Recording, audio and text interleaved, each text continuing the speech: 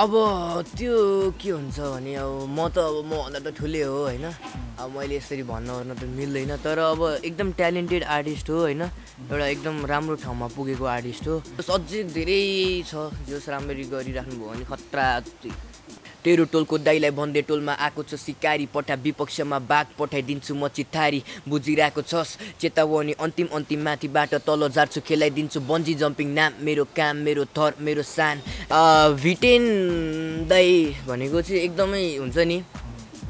त्यो नेपा नेपाली हिपहपलाई यहाँ हिप यहाँ भएको हिपहपलाई त्यहाँ लगिदिने मान्छे हो क्या। त्यो बु- थोरैले बुझ्छ होला त्यो कुरा जुन दाइले कन्ट्रिब्युसन देखाउनु भएको छ नि। अमेजिङ हो क्या? दाइले गर्दाखेरि अब कति ऱ्यापरहरू इन्सपायर भएको छ नि त। बालेन दाईको तिमी फुल माग्छौ म पात्ने दिन सक्दिनँ भन्ने गीतहरू थियो। त्यस्तो गीतहरू वाइल्ड सुन्थेँ अनि अब अलिक पछि त्यो त्यस त्यो त्यतिखेर चाहिँ अब म जोस् हिपहपतिर लागिसकेको रहेछु क्या हुन्छ नि?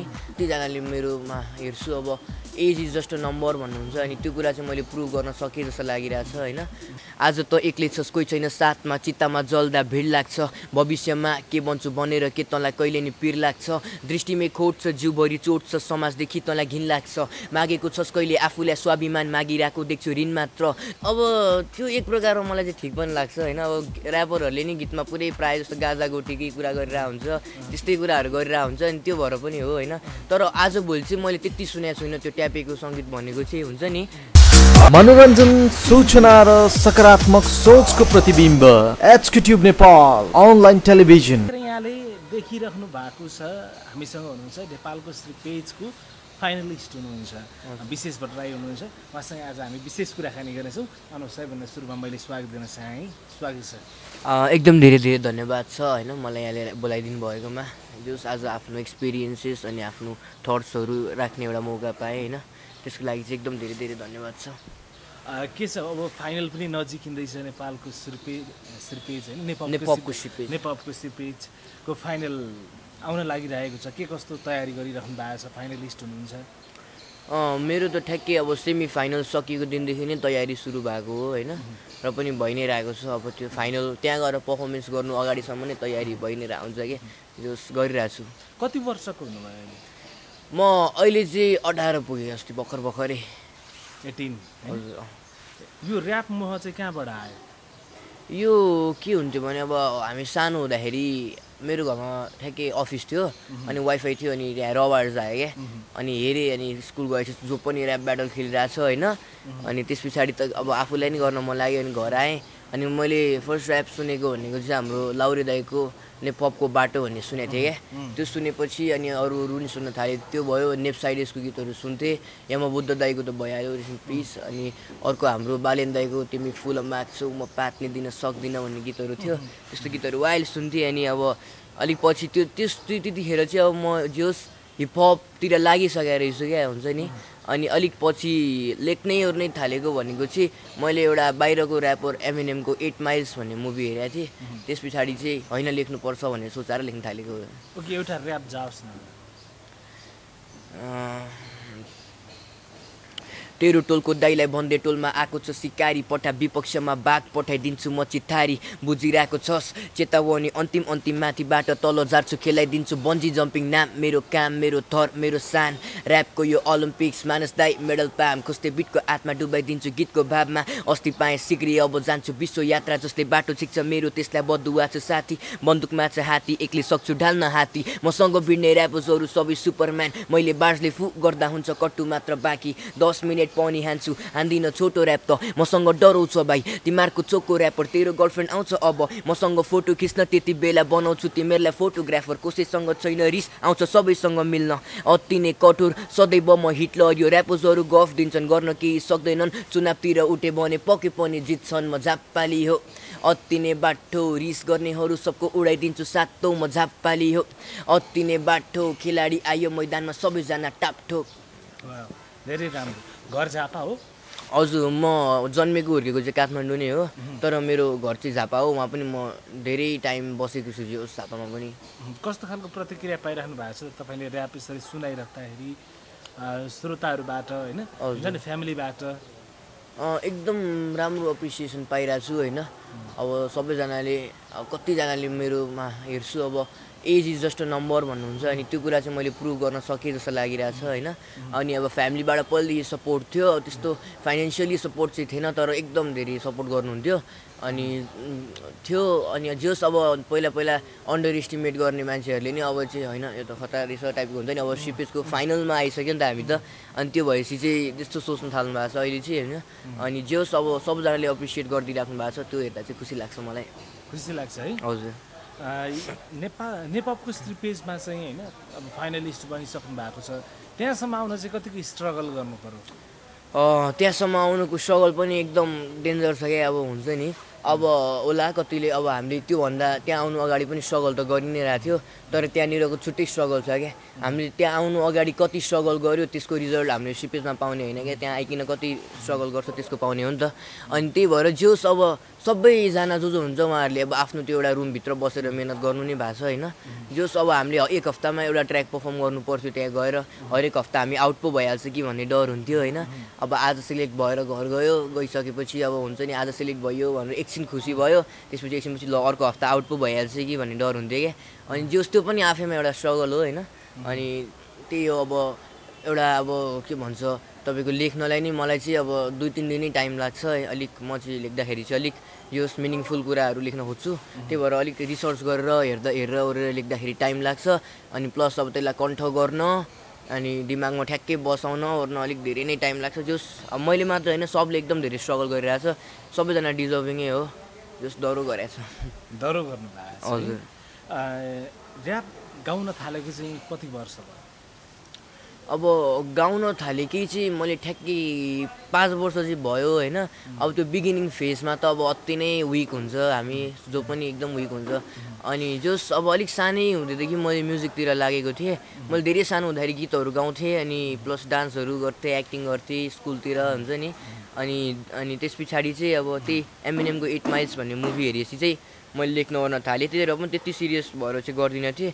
तर एकदमै मैले युट्युबमा ऱ्यापै हाल्न थालेको चाहिँ ट्वेन्टी नाइन्टिनबाट हो। त्योभन्दा अगाडि सिक्सटिनदेखि चाहिँ कभर सङ्ग्सहरू अपलोड गर्थेँ।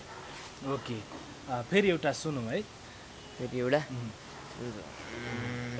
आज त एक्लै छस् कोही छैन साथमा चित्तामा जल्दा भिड लाग्छ। भविष्यमा के बन्छु बनेर के तँलाई कहिले नि पिर लाग्छ? दृष्टिमै खोट छ जिउभरि चोट छ समाजदेखि तँलाई घिन लाग्छ। मागेको छस् कहिले आफूलाई स्वाभिमान मागिरहेको देख्छु ऋण मात्र। तँ आफ्नै संसारमा मग्न छस्। याद छ के के तँलाई बाउले भने? दिनभरि गोटीको चार्जमा बसेर सपना देख्दैछस् लाउरे बन्ने गाह्रो हुन्छ तँलाई रात काट्न। यसरी जिन्दगी चल्दैन। मेहनत गरौँ तेरो खाटबाट काठमाडौँमा तेरो घर छैन।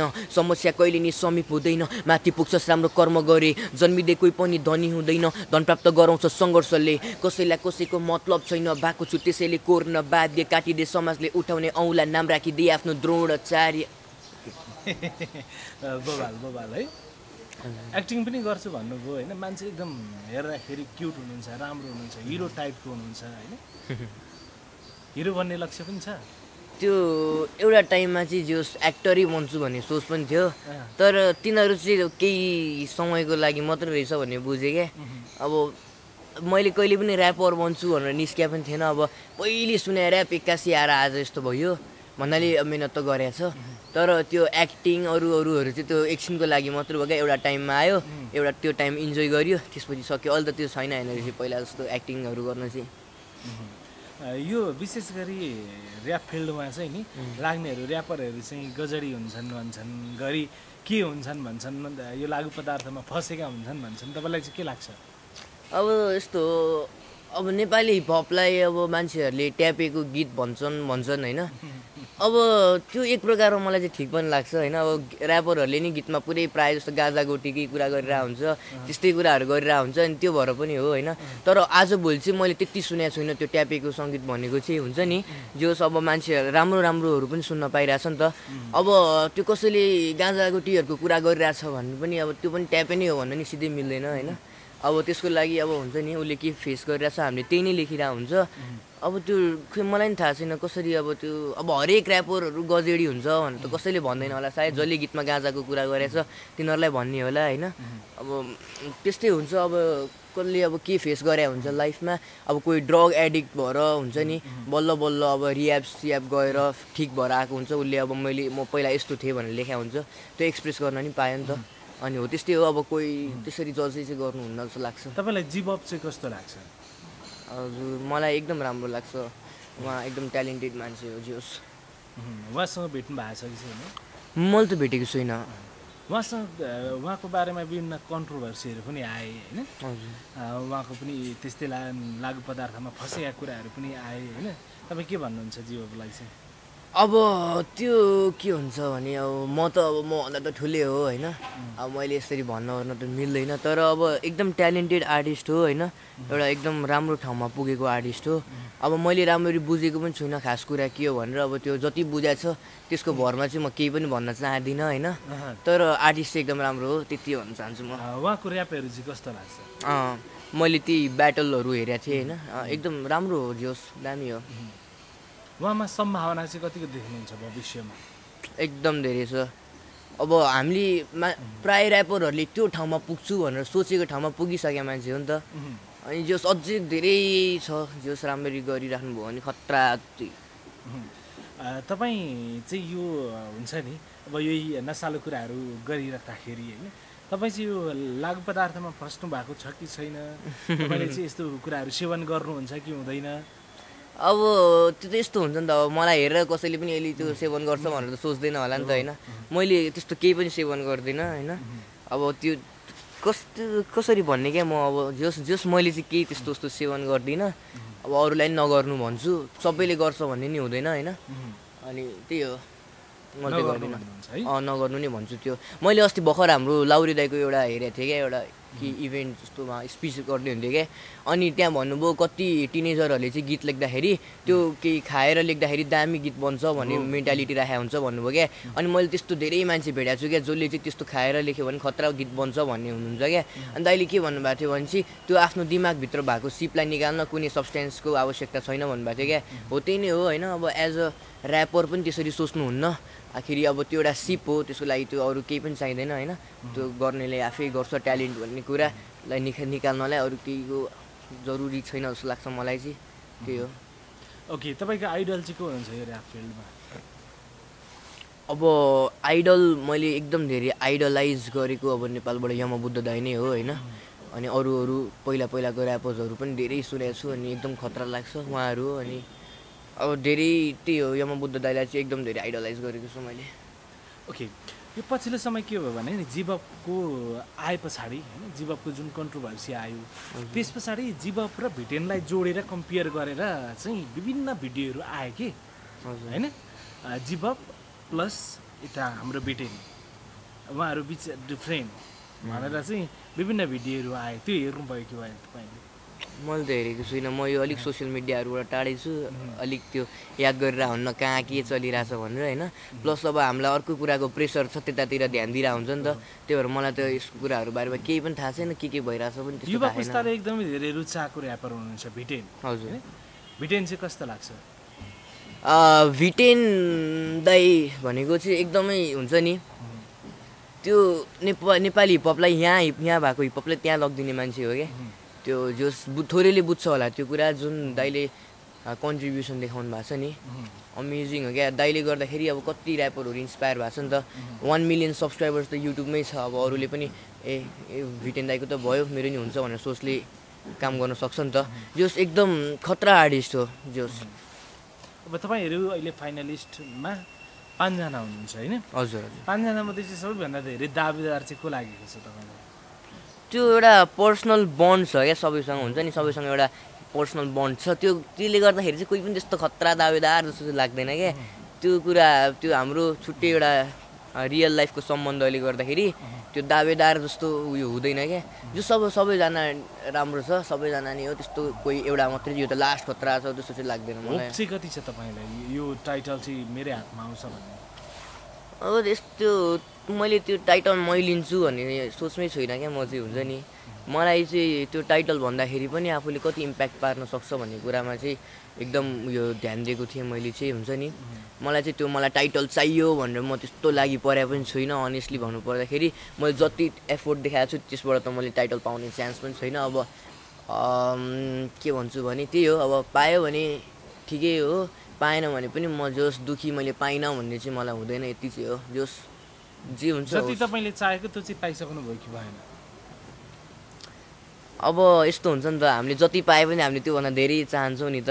अनि त्यसरी हेर्दाखेरि त छैन भनौँ तर जोस् एउटा हामीले अब यहाँबाट निक्लेर पनि एक्लै पनि केही गर्न सक्ने हुन्छ नि।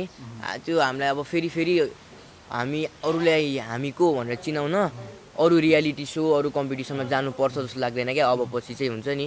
जस पहिलेदेखि एक्लै हामी गर्दै आएको अब झन् धेरै आँट बढा बढ्छ यो सकेपछि हुन्छ अझै धेरैले चिन्न थाल्नु भएको छ होइन। धेरै सुन्ने कानहरू पनि बढेको छ अनि त्यही हो अब। त्यही नै हो। अब जस्तो यो रियालिटी सोमा भइराख्दाखेरि होइन गरिराख्दाखेरि गाइराख्दाखेरि सबैभन्दा बेस्ट पर्फर्मेन्स चाहिँ तपाईँलाई कुन लागेको थियो? मेरो एउटा गीत थियो यो जीवन होइन भन्ने। मैले टप ट्वेन्टीको अडिसनमा हानेको थिएँ। हो त्यो गीत चाहिँ सबभन्दा बेस्ट लाग्छ। सुनौँ त्यो पनि? हुन्छ।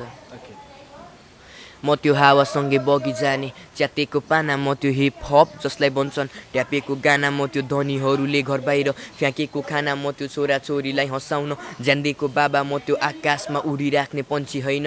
हामी मानिस एउटा गल्ती हो जुन सच्चाएर सचिँदैन। शान्तिलाई आफै आगमन गर सबले। अब फेरि फेरि यहाँ गौतम बुद्ध जन्मिँदैन। हराएको यात्री म। त्यही पनि मित्र खोज्छु आमाको मुस्कान हेर्नको निम्ति। म नि जित्न खोज्छु दास। हो किताबको म आस। हो विकासको म पाब्लो पिकासो सत्यताको चित्र कोर्छु एकदम रमाइलो है।